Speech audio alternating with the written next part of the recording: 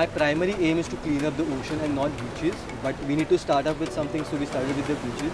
So there is a lack of belonging towards our beaches, towards our nation, that the citizens think that it is not their duty, it is the duty of the corporation, but I think it's a collective effort. I had a conversation with my mother regarding the beaches in Mumbai. She was the one who initiated and she was the one who motivated me to start this whole initiative. We wanted some name that we would, you know, connect with the youth and there should be curiosity. Hence we came up with Beach Please. So Beach Please means we need to really focus on our beaches. And if you see our logo is a wayfarer. So it means you come down on the beach, chill around as well at the same time clean the beach. That is what we believe in place where we have a cleanup at Dadar it's called Chaitya Bhumi. So it's a religious place. We have a cremation center here. So you find a lot of post-cremation rituals that take place. The waste that we dump in the ocean, 94% of it goes on the ocean bed, 5% of it comes back to the beach and 1% floats on it. So the Municipal Corporation of Greater Mumbai just provides us with the excavators and the trucks to collect away the waste.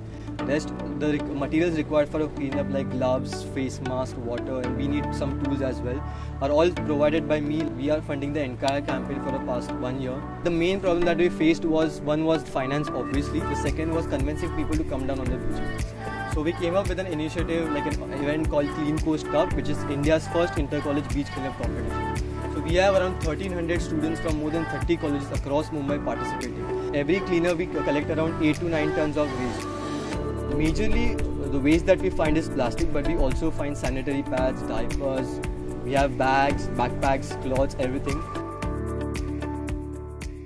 इधर दादर बीच पे, इधर plastic था, उधर plastic का small small like एक एक step पे plastic था।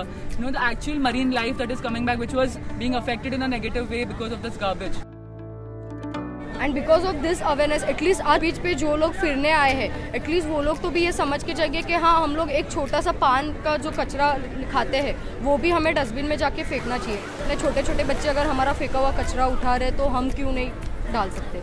We are not doing something which is extraordinary or something which is very unusual or you need some skills for this. We are doing something which is very easy and very simple to do, but there should be willingness for this. So I urge people to come and join us for the cleanup if we segregate the waste, I think 50% of the problem that we're facing, like the waste management thing, would be really solved. You and me, we us can make a difference, and that is how it can work.